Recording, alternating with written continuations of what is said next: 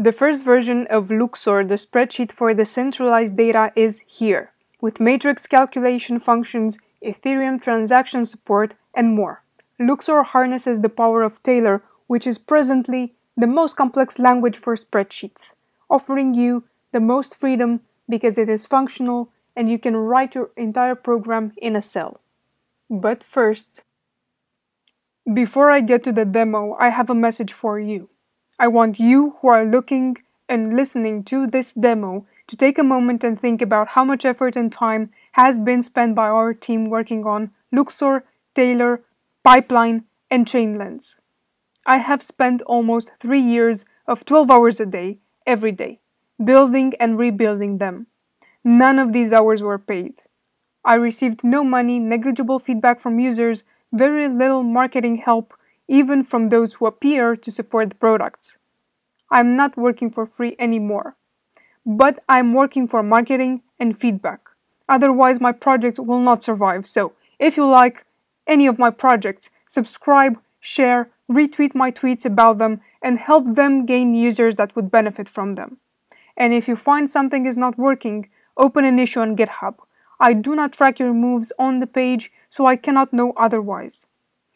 Others have already started to build similar products to mine and be financially supported for them, and Luxor will soon follow suit, because the idea of a spreadsheet for decentralized finance is just too good.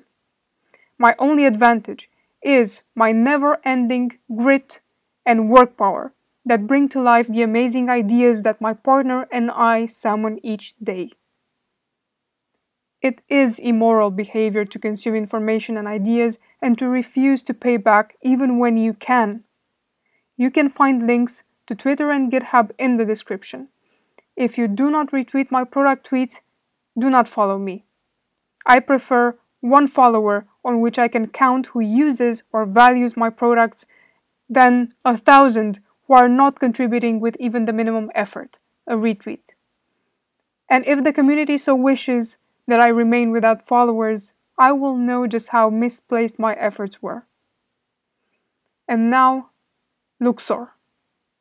You can find Luxor in the Taylor editor by clicking on this button, and for the full experience, have a browser wallet like MetaMask activated on Ropsten, Kovan, and Goerli, and switch the backend to both JavaScript and injected Web3 provider.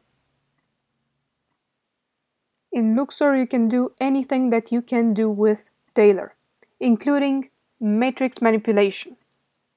So let's start by constructing an identity matrix. But we can do better. We can display it with the table row first function. And we will do that starting with cell F20. And here it is, and now we can clearly see it is an identity matrix. We can see the diagonal of ones.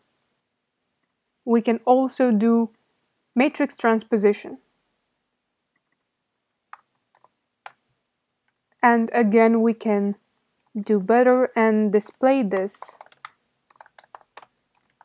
with table columns first starting with G12. And of course, we get the same result. So if we would use table row first,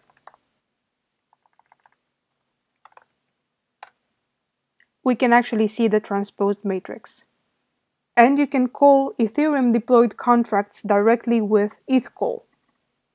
You can gather data and process it with Taylor. Imagine DeFi decentralized finance done on Luxor.